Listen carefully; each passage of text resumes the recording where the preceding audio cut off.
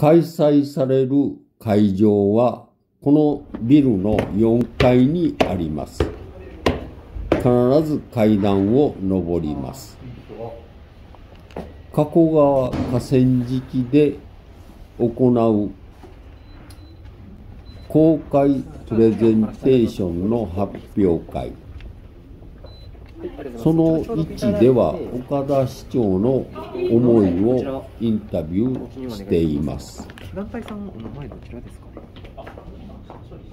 飛田さんのやで、さんかゴリバースさん。うんはい。で、こちらにお願いします。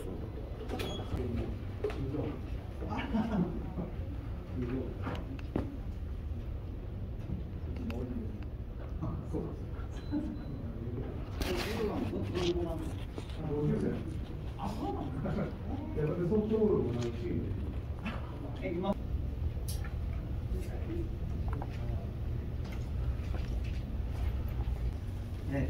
あの河川敷の課題といいますのが例えばあの暑さ寒さ、え特に夏の暑さがひどいですよね。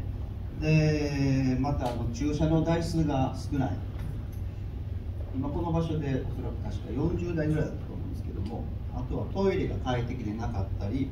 あと水辺のアクティビティがあのやりにくかったりなんか柵がしてあったりですねそういういろんなあの課題があります。であの私があの提案するのはですねこのうち、えー一番下の憩いの場としていかにも殺風景であるという、まあ、インフラの整備ですね。ここにちょっとあのお手伝いをできないかなっていうあの今日はご提案なんですね。で例えばあの河川敷に行ってですね今座るとこがどこにあるかっていうとあのないわけですね。えー人がたくさん来るともう座る場所が全然なくなってしまう何か持ち込んでこないといけない。テーブルがありますかというとない。で日差しを遮るものは何かありますかというとこれもないということであのそういう場所をですねさああの市民の皆さん使ってくださいと言ってあの無理なところがあるわけなんですね。でそこで私があの今日ご提案するのがこの河川敷にベンチを入れようというお話です。で前に出ているこのベンチなんですけれどもあのまずは座ってもらう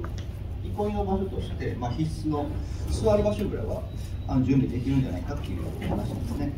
でこれシェアベンチといいましてあの私どもが開催しています武蔵オープンデパート朝市という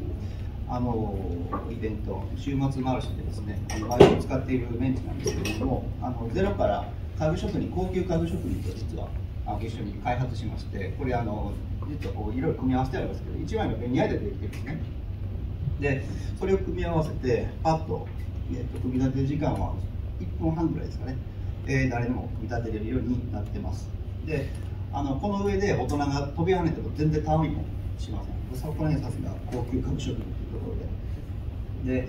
あのかつ、まあ、1枚のベニヤ板なので非常に安価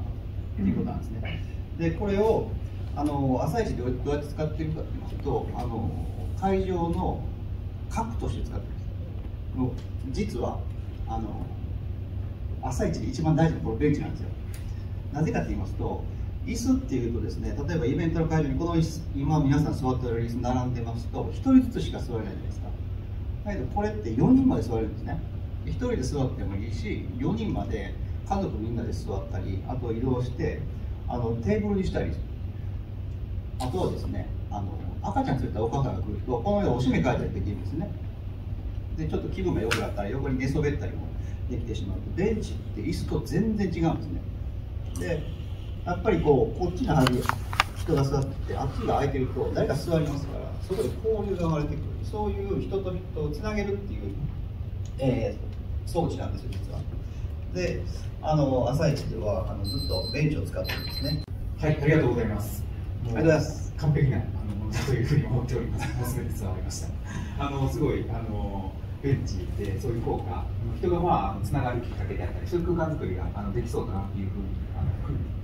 イメージがあのすごく湧きました。今回なんですけど、あのこのベンチのあのなんか乗ったりとかっていうのもされるっていうあはいはいこれを河原にあの導入する前にイベントとしてですねあの市民参加の形で、えーベンチをあの塗装これそのまま行くとあのざらあの雨に濡れた時に水に弱いもんですからああの塗装したらですねなんやったらもうカラーリングもしたりして今日も最後までお聞きいただきありがとうございました。